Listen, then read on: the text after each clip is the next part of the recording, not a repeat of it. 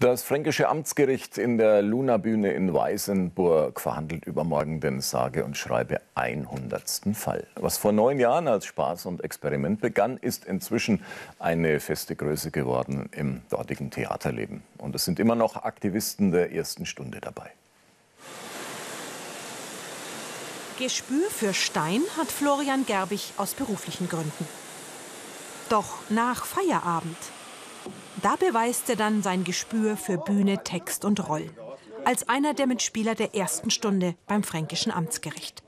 Zusammen mit dem Steinmetz proben auch eine Lehrerin, ein Kellner, ein Ingenieur, eine Sachbearbeiterin und ein Formenbauer. Seit Jahren treffen sie sich regelmäßig in der Weißenburger Luna Bühne zur etwas anderen Gerichtsverhandlung. Das Erfolgsrezept? Geschichten, die das wahre Leben schreibt. Genau das ist es auch, was Florian Gerbig daran so gefällt. Und Theaterleiter Thomas Hausner schreibt die wahren Fälle für die fränkische Bühne um. Wir haben natürlich auch schon Fälle gehabt, die also tatsächlich hier bei uns passiert sind. Also wir hatten schon den Nacktjogger hier bei uns.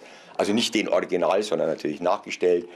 Äh, letztens, letztens war in Gunzenhausen so ein Riesendrama, haben die gehabt mit dem Zirkus. Moskau hieß der, bei uns hieß er dann Zirkus Ankara. Herr behüte uns, was ist passiert? Jawohl, und zwar hat der Beklagte hat auf mich geschossen. Ja, dabei drang eine Kugel in mein Gesäß ein. Diese musste operativ entfernt werden und unter den Folgen leide ich noch immer. Ich bin der Kläger. Ja, klar gegen ihn, weil er auf mich geschossen hat.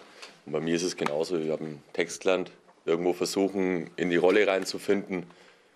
Und das werden wir jetzt versuchen. Text durchgelesen, die die Rolle irgendwie versucht zu finden und mir was Lustiges dazu überlegt. Jeder Darsteller soll seine Rolle selbst interpretieren. Auf- und Abbau ist Männersache. Um die Kostüme und Requisiten kümmern sich dann die Damen.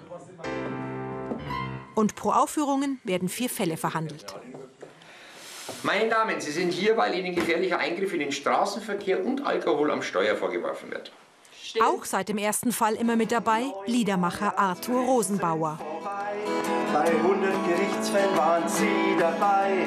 Das fränkische Amtsgericht ist noch lange nicht vorbei. Herr Behüt uns will 25.000 Euro Schmerzensgeld für einen Schuss in den Hintern. Der Gesäßschuss von Florian wird insgesamt viermal verhandelt. Und wie beim fränkischen Amtsgericht üblich, wohl immer vor ausverkauftem Haus. Die Sitzung ist geschlossen.